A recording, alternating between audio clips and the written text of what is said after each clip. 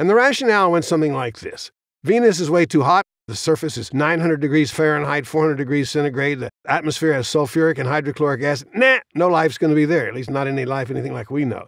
Mars, on the other hand, we knew that water was cycling between a gaseous and a solid phase there. So, given that water was essential for life, we focused on Mars.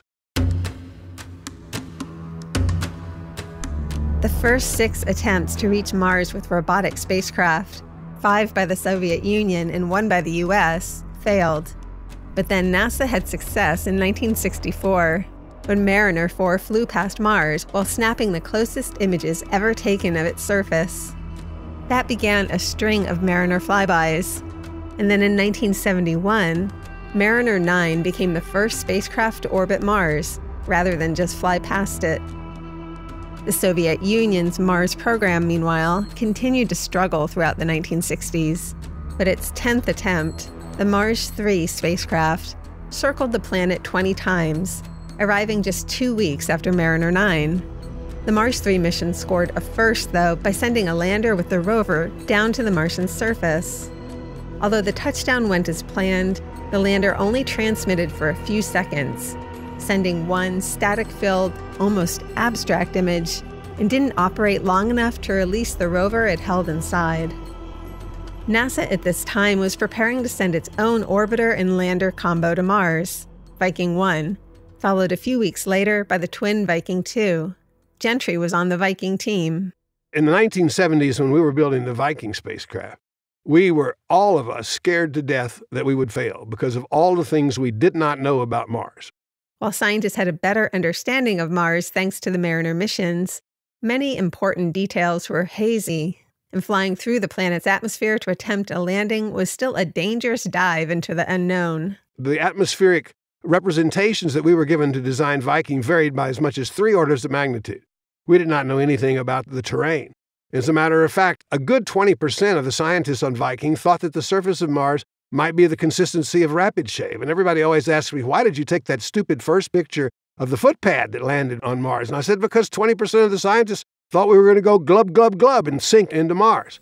Now we see the landing pad exactly as planned, with a small amount of dust or sediment lying in it. The surface has some dust, but is firm, much firmer than many scientists here had believed it would be. Since the Vikings set foot on Mars in 1976, NASA has sent many more landers and orbiters to Mars as well as five rovers that have navigated the planet's craters, sand dunes, and mountains. Mars is a more familiar place thanks to these missions. But Gentry, who is now JPL's chief engineer for planetary science, warns against becoming complacent. As we have learned more about Mars, and as Mars has thrown us more curveballs, and it's thrown us a curveball in every mission, instead of becoming more humble about what we know about Mars. We've actually gotten to the point now where a number of our engineers and even some of our scientists think, ah, it's a piece of cake to land on Mars, and we know what Mars is all about. Hello, you may or may not know that InSight landed on Mars carrying seismometers, which were great, and a heat probe, which was supposed to go three to five meters into the surface. And it was tested on all kinds of, quote, Martian soils before it went. Guess what? None of the Martian soils it was tested on were even remotely like what we encountered and after a year of trying and trying and trying, the heat probe never went deeper than half a meter. And I tell even my friends, uh uh-uh, uh, do not get cocky. Something can happen that you're not expecting. Mars is not confined to what you think it ought to be. A NASA mission exists in the space between what we think we understand and what we want to discover. Every mission seeks to cross that threshold between not knowing and knowing. But after sending missions to Mars for nearly 60 years, it can be easy to forget just how much the unknown still defines these explorations. Almost every mission has uncovered something that we had no idea about before. We still have an awful lot to understand, and that's what's wonderful about it because as we explore the planets, what happens to us is we suddenly see the Earth in a different perspective. We see the earth in a comparative sense. How is the earth like other places? How is the earth not like other places? What is it about us that is so special? And I find all these questions and all the discussions of these questions absolutely fascinating.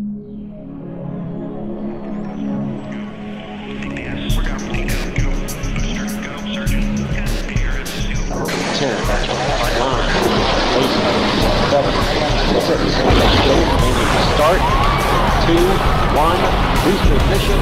We are receiving heartbeat tones at this time. 0.7 meters a second. We've acquired the ground with the radar. We are wheels down on Mars. Oh my god. This is amazing. Welcome to On a Mission, a podcast of NASA's Jet Propulsion Laboratory. I'm Leslie Mullen, and this, the final leg of our season four journey, is episode 12 Secrets of the Mars Rovers.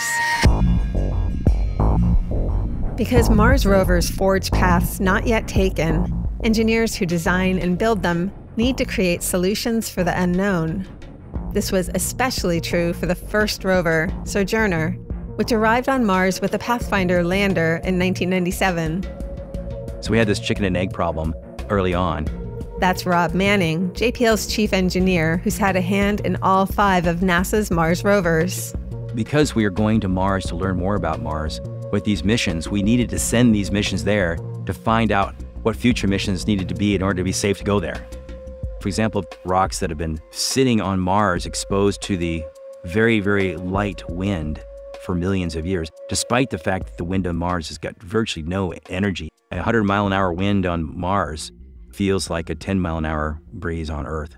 So the wind's much less than that most of the time. But this still produces dust that moves, and grains of sand hop along the surface that called saltation, and it hits the rock, grinds it away, and produces these wonderful flat surfaces and sharpened edges.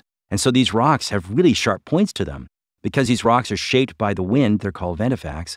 And many of these rocks are kind of glued into the surface, we've discovered over the years. And there's a lot more of them than we thought. I wouldn't say Mars is completely covered with them, but I have to tell you, if I was a Martian astronaut, I would insist on thick soled shoes. I would insist, no, I don't want thin soled shoes. I want steel between me and those sharp points. And this is the things you learn about Mars that you didn't really know about because we didn't see that sharp rocks, that many of them at Pathfinder's landing site or in the Viking landing site, but we have seen them since as we've been driving around. Each generation of Mars rover was built on such discoveries and became larger and more complex in the process. Toaster oven sized Sojourner led to the golf cart sized Spirit and Opportunity twin rovers that arrived in 2004, which informed the design of the car sized Curiosity rover that landed on Mars in 2012, whose blueprint was altered in subtle and yet fundamental ways for the Perseverance rover that arrived in 2021. This is why we're so thankful that NASA has trusted us to do this again and again because you can't learn this without doing it.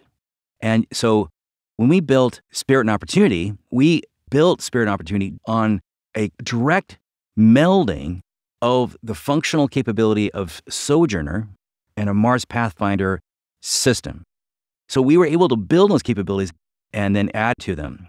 And I have to admit, there's a huge advantage to doing that because you're adding to what you already know as opposed to starting over all the time. And even though they look radically different, it's no doubt Spirit and Opportunity Pathfinder and Sojourner were inside. And then when you come to curiosity, there's no doubt that spirit and opportunity reside inside this new ultra complex rover that has far more complex hobbies than anything we asked spirit and opportunity to do. And then we've upped the game even more with perseverance. But just because you've done it before doesn't mean you, oh, I don't have to build or design or test it anymore. Every time you build it again, you have to retest all the capabilities that you layered on from previous missions.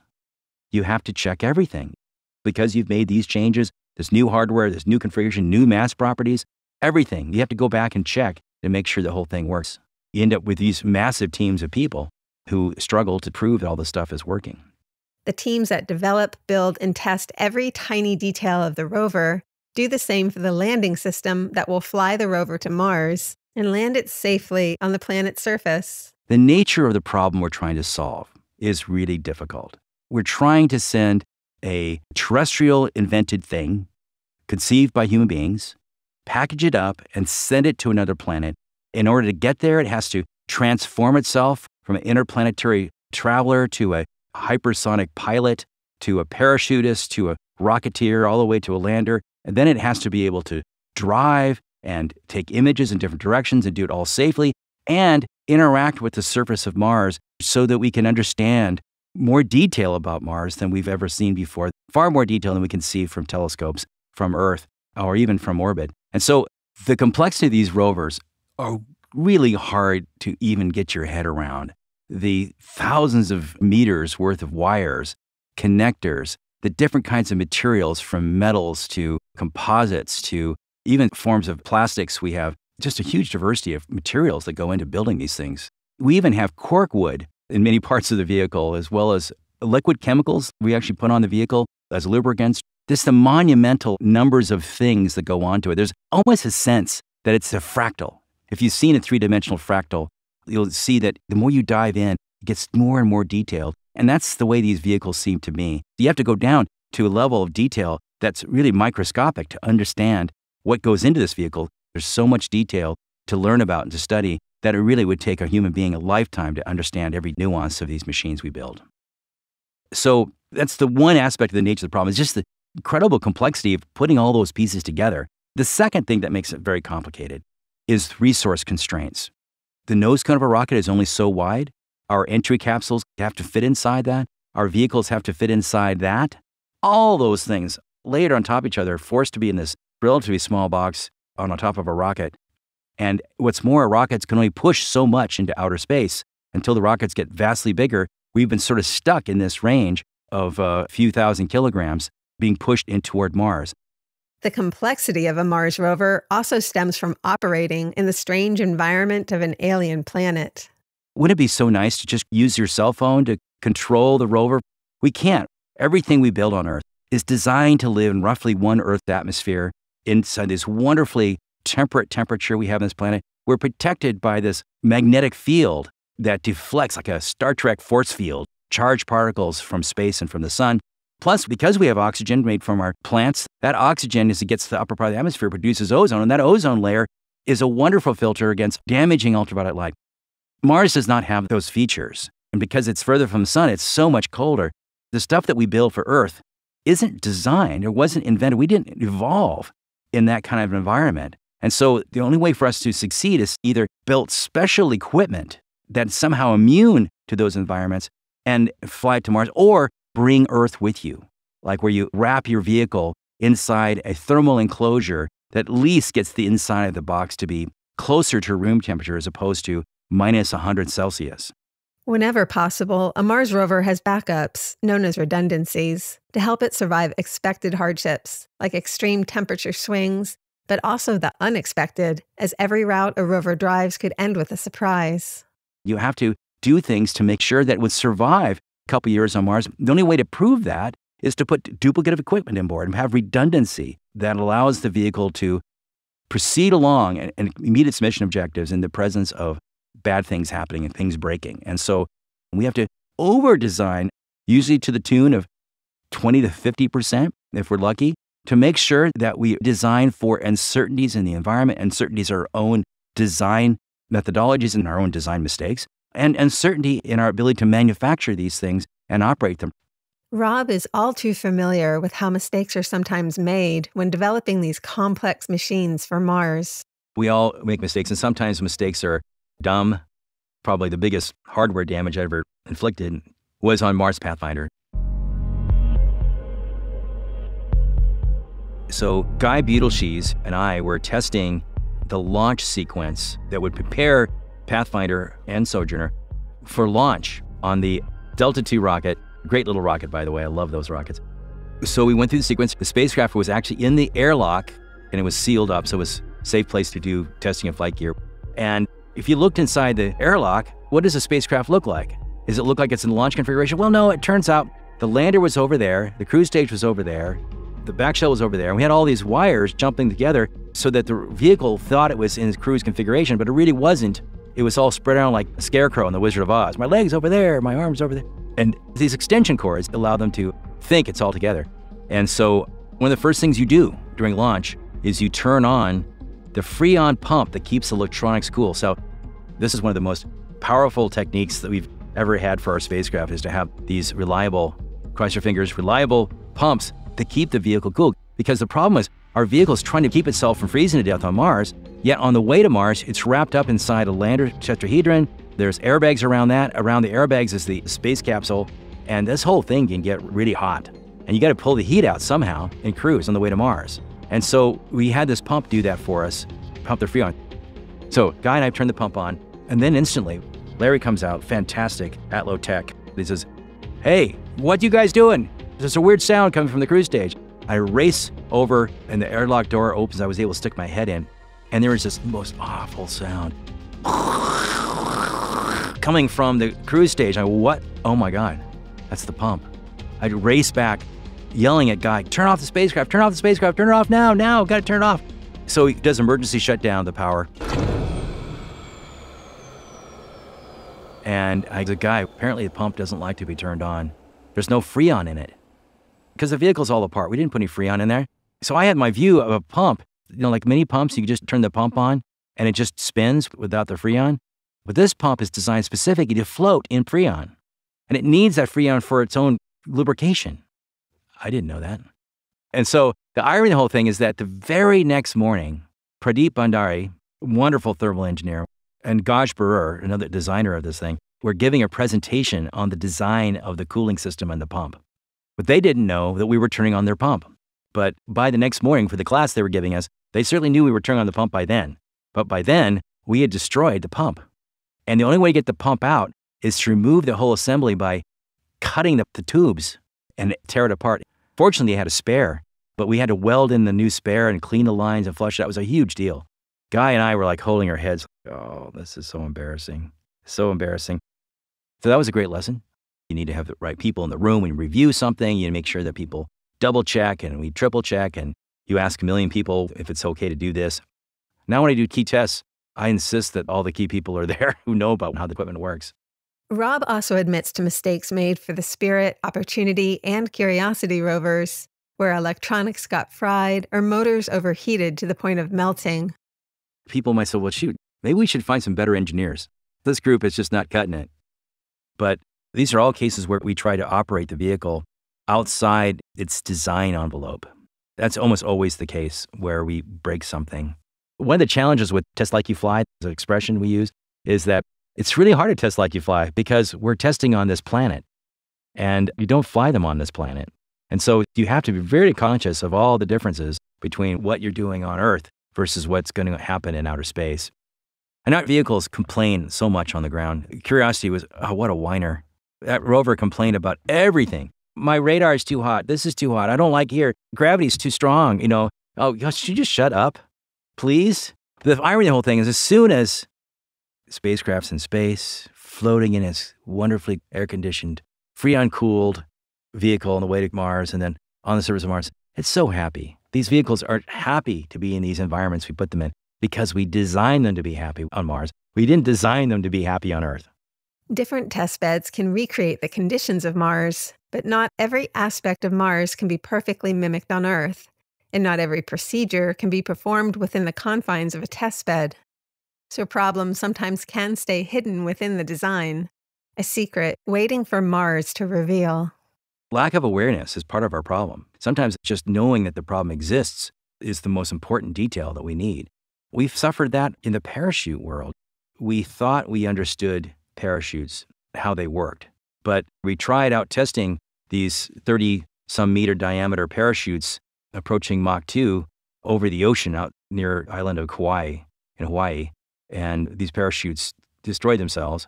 And that was a real eye opener. And we discovered how little we really understood. Pathfinder, Spirit Opportunity, all these missions, Curiosity, we had been assuming that parachute inflation looked a lot like it does on Earth, except a little bit faster. But we really hadn't done a lot of analysis work at what that meant. A space capsule traveling from Earth to Mars picks up a lot of speed. And by the time it hits the top of the Mars atmosphere, the capsule is going about 13,000 miles per hour. The Martian atmosphere is only 1% as dense as Earth's, but a heat shield is still needed to prevent air friction from burning up the space capsule. That friction of atmospheric entry also helps slow the capsule down, but it's still going very fast when the parachute opens. And this high speed causes the parachute to inflate in the blink of an eye. When the test parachutes over Hawaii ripped apart going Mach 2, or about 1,300 miles per hour, the engineers had to reconsider what they thought they knew. We realized that our parachutes were just barely working. And what I mean by barely, I don't know, but we did not have the margin in our design and the strength of the parachute that we thought we had, all the way from Pathfinder. And I realized what happened is we had tricked ourselves. We used to show these low resolution movies of these parachutes inflating to the parachute experts. And we watched them at speeds that were slowed down. And inflating in slow motion looks a heck of a lot like inflating a parachute on Earth at real time.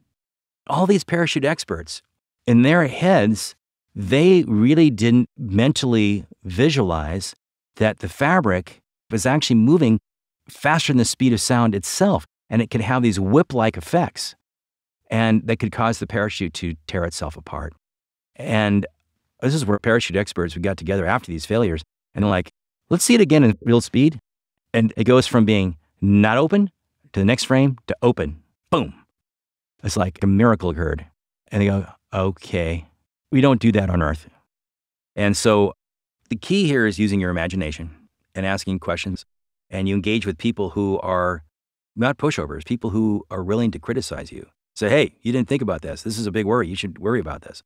Mars missions take years to design and develop, but at some point you have to make final decisions and go with what you've got. When we find defects in the design or things not working properly, we write a problem failure report. When we're in flight, we write a incident surprise anomaly report. The idea is that we're constantly writing the discoveries up as we're building it, as we're flying it. And when we discover our shortcomings, oftentimes we try to fix it. But more than half the time, we find ways to work around those defects and to live with them. Why, you might ask? We've got a launch date. Mars is very inhospitable about how often it allows us to go to Mars. It only comes by every 26 months. And because of that, time is ticking. If you find a defect, you have to ask yourself, do I have time to fix it? And can I fix it reliably? And will the fix involve more problems than the problems I'm trying to solve? And just asking those questions is actually very time consuming in of itself. But what we often do is, is okay, well, if it's going to be a real problem, we have to fix it. This thing's not going to work without us fixing it. But still, it leaves a large number of idiosyncrasies and defects in the design, some of which are discovered after we launch, which is even scarier, right? And fortunately, many of those are survivable or you can operate around them. For Spirit and Opportunity, as the clock ticked down to their launch dates, a review of their planned destinations on Mars led to a cascade of uncertainties. The rovers were scheduled to launch in the summer of 2003 to take advantage of an especially close alignment in the orbits of Earth and Mars that would shorten their journey between the planets. Spirit was to make the jump first. So we were hoping to get Spirit to Gusev Crater, and then three weeks later get Opportunity to Meridiani Planum. And our review board challenges us, hey, you've got one vehicle going to a place where the rocks and slopes are so dangerous and the winds are so dangerous, you don't know whether you can land safely in Gusev Crater. Right now, your design doesn't cut it. You can't go to Gusev Crater. Well, the science team is like devastated because they were hoping to go to Gusev Crater because of clear signs from space that it was once a water filled lake. The alternative for a Spirit was to go to a place where we know there was no water. That's safe, but boring, or wrong reason for going. The other problem with Meridiani, though, with the opportunity, is it was so high up. We didn't have enough timeline margin to get to the surface because we'd only tested the parachute inflation dynamic pressure to a certain limit in our wind tunnel tests. And so we really didn't have the data to prove that we could land safely at that high altitude. So my point is, well, it's still below sea level, Rob. It's not that high. I know we were struggling to get to places that are well below sea level. Anything higher than that was completely off limits for our design.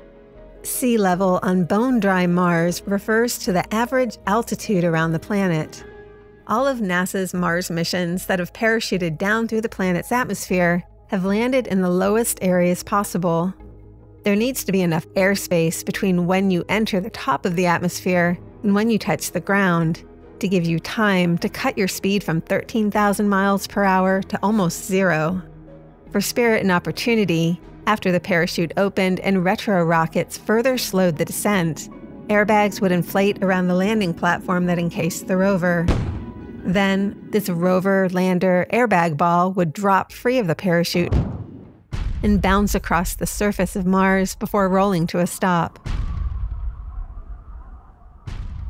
It can take months of haggling for scientists and engineers to agree on where to land a Mars mission. The perfect spot has all the qualities needed for the landing system and also has interesting geology or chemistry for scientists to study. But now, because the engineering team hadn't proved they could handle higher winds in Gusev or the higher elevation of Meridiani, these agreed upon landing sites were suddenly in doubt. So we had two vehicles that are on the rocket ready to go, and we hadn't officially selected landing site for either one of them. So where are you going? Well, we're aiming for Mars for both of them. Great. Where are you landing? Well, we don't know exactly yet. we haven't decided. It's like, holy smokes. Now, we knew we had backup landing sites. We've certified we're safe, but the scientists were like, no, it does not go there. So Steve Squyres, the PI for Spirit Opportunity, implored me, like, Rob, we've got to find a way to prove that we can get to these landing sites.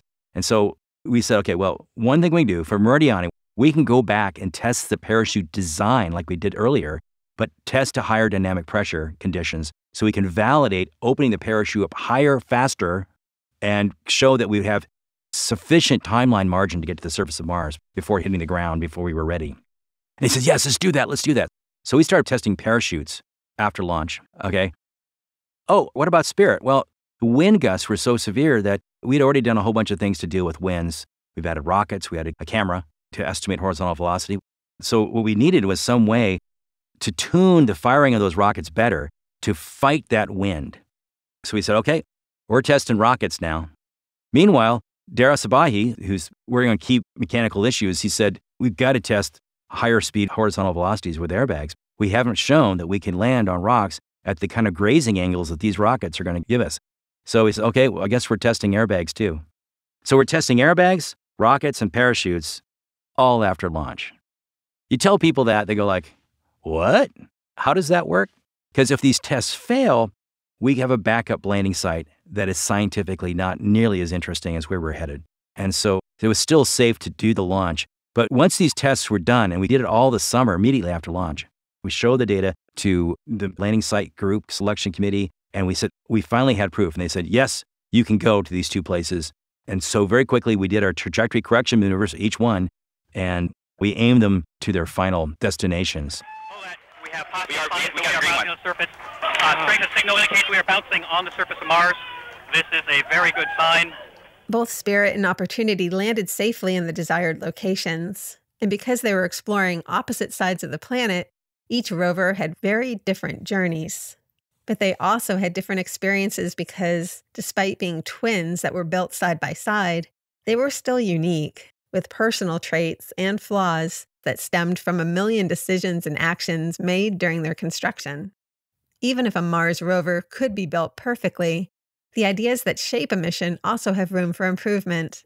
For instance, the Perseverance rover is now drilling into Mars and collecting rock cores that may contain evidence of past life. Whenever a planned future mission could bring those Mars samples to Earth, Gentry thinks they'll likely upend expectations. I'm going to make a bold prediction right now that after we get the samples back and we study them with the laboratory experimentation that we have available today, we will discover that our experiments and our machines and instruments are not good enough to answer the questions that we wanted to have and that we have to build something new. I think that there is a fundamental breakdown in the human mind that goes something like this The more information I accumulate, the less uncertain I'm going to be. And that is not a true statement in general. So we have now enormous amounts of information about Mars, and that guides us in everything that we do. And we don't stop long enough to think about, hmm, maybe I don't really know this particular fact. I'm going to go all the way back to Viking. On Viking, we carried three biology instruments and one organic chemistry experiment. And since it was the first mission ever to go to Mars, we had the most awarded group of scientists you can imagine. There were two Nobel Prize winners and five or six others who explained to me why they should have won the Nobel Prize.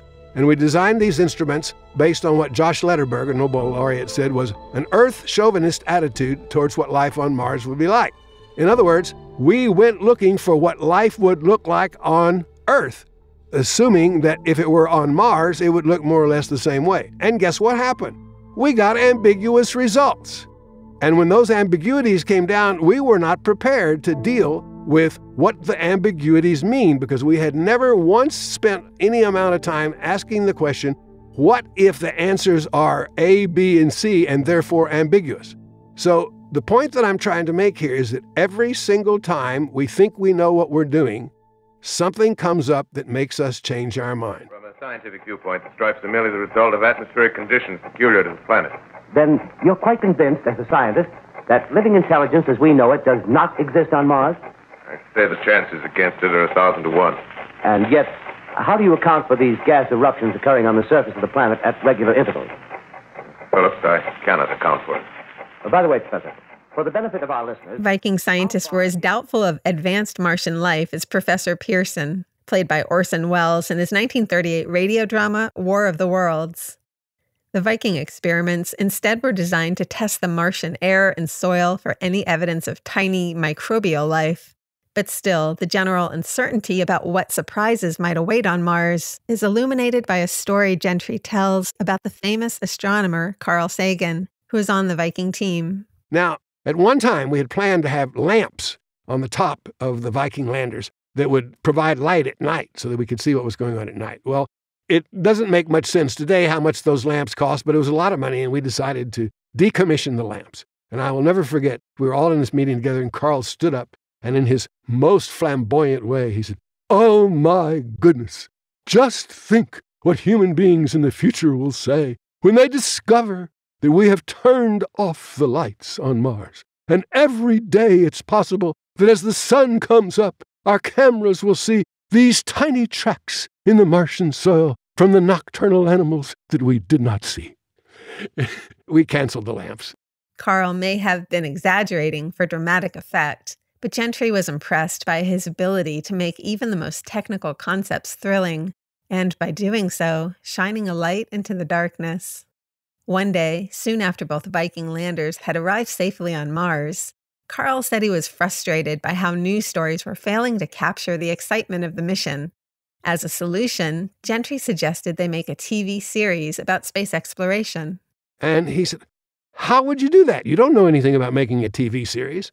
And I smiled, and I was a cocky youngster, I have to say. And I apologize to anyone who's offended by my immodesty at the age of 34. I said, I didn't know a thing about landing a spacecraft on Mars seven years ago, and we just did it twice.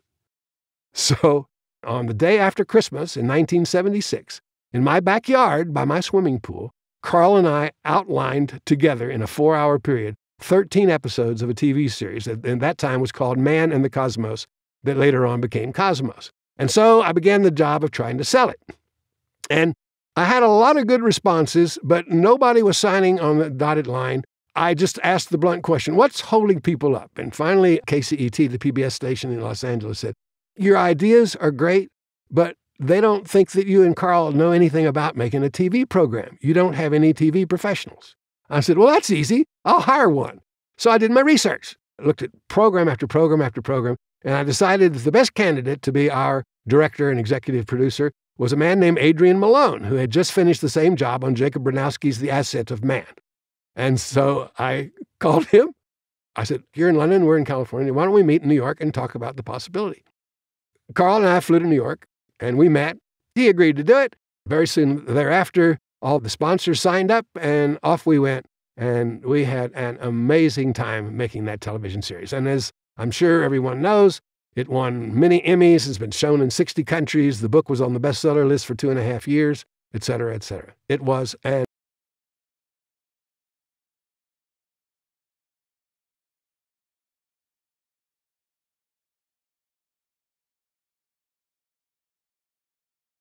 I was born in New York City in March of 1942. And I lived in row houses, 7521 167th Street in Queens, New York. I can still remember jumping from rooftop to rooftop with my next door neighbor, Brucey Ekstrom. And my father worked all night for the Associated Press, and he decided that was not a good job, and he took a job as a journalism professor at the University of Texas in Austin.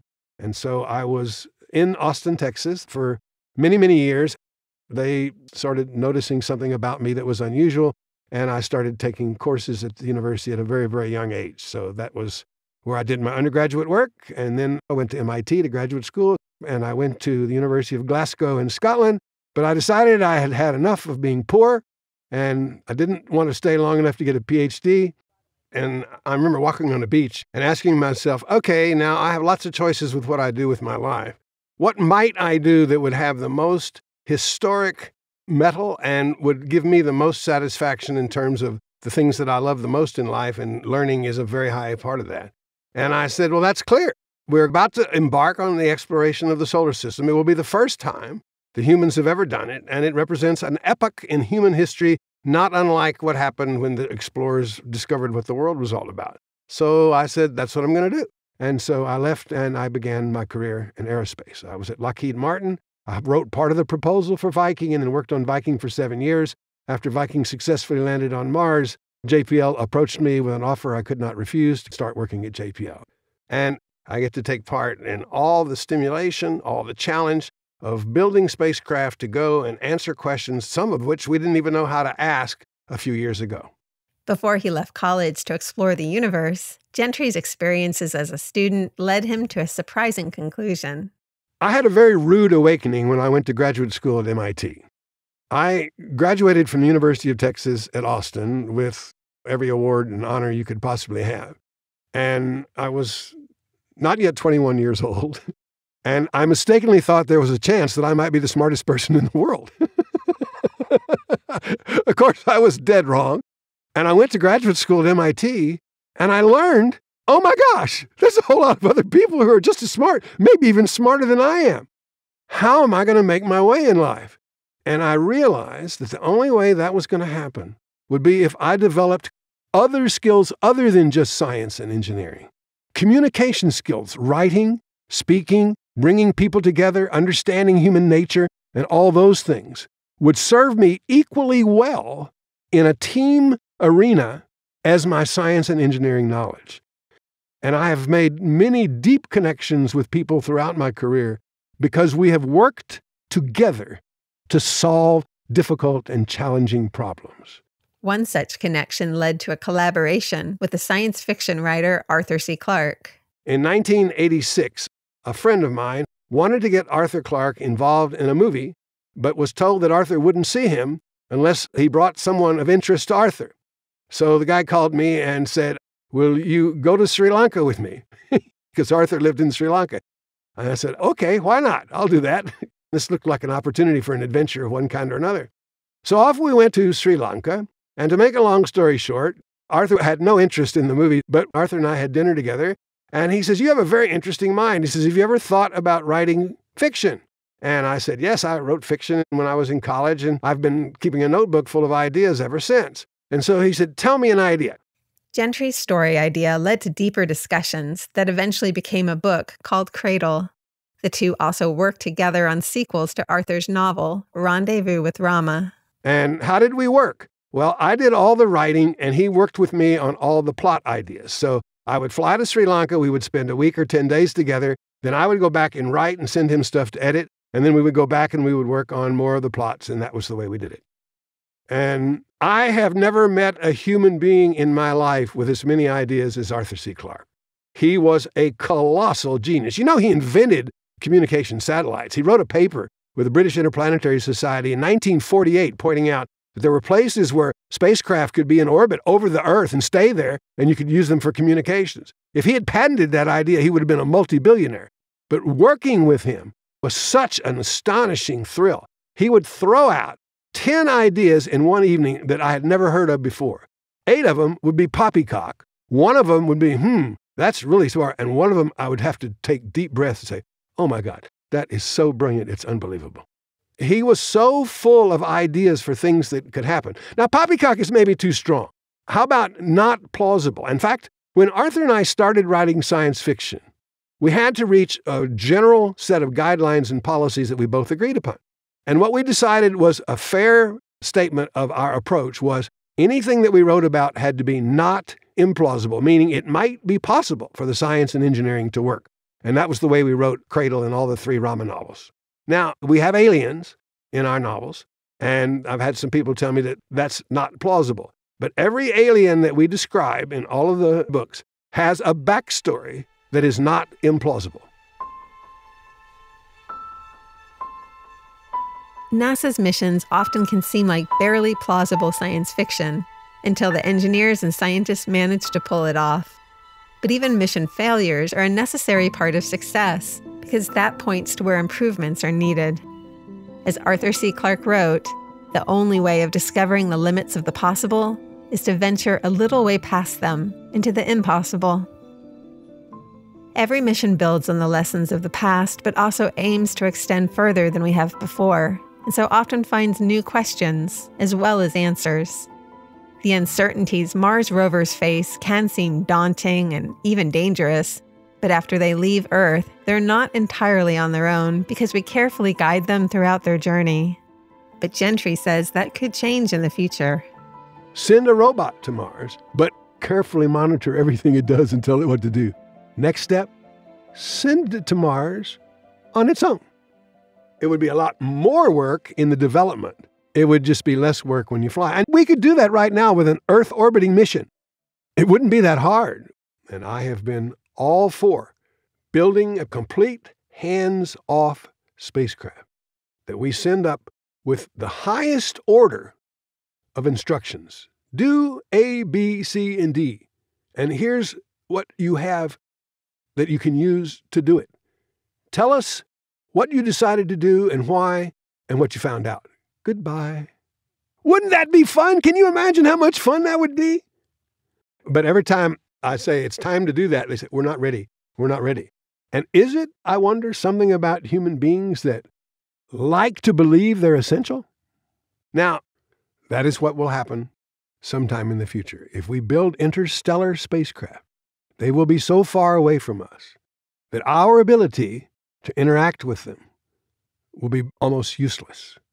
And so we will have to tell them what it is their mission is, what their instruments are, the different ways they might deploy them. And then they will send the data back. And we will receive that data long after their missions have been accomplished or not, depending on how clever we were in building them. All spacecraft, including Mars rovers, are as clever and flawed and vulnerable as the humans who made them. And perhaps that's part of the reason it can be bittersweet to let them go. But when the time comes, they must go, to either succeed or fail, because that's what they were made for. The advanced technology of Mars exploration may not seem indistinguishable from magic, to paraphrase another quote from Arthur C. Clarke, but Rob Manning practices his own enchanting tradition to wish the rovers goodbye and good luck. When Pathfinder left JPL, we put it in the truck and went through the main gate. It was at night. We often leave at night to avoid traffic, and it was intended for the long drive on Interstate 10 all the way to Florida. Before we left, hey guys, we need to do a send off. Let's make some noise. Okay, well, I have a noisemaker and bring my trumpet. I could play Saints go marching in. Perfect, yeah, come on. So we hung out there just outside the main gate, a small group of people, and I pulled my trumpet out in the middle of the night. I just started blowing. had a raucous send off to see it go. Meanwhile, the truck driver looked at us and just rolled his eyes, like, oh, yeah, these crazy people.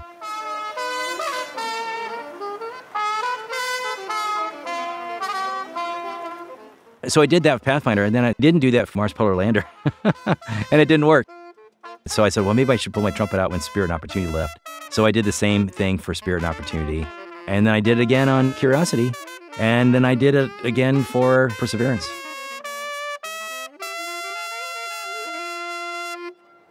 How's that? We're on a Mission, a podcast of NASA's Jet Propulsion Laboratory. If you like this episode, please follow and rate us on your favorite podcast platform. And be sure to check out NASA's other podcasts. They can all be found at nasa.gov forward slash podcasts.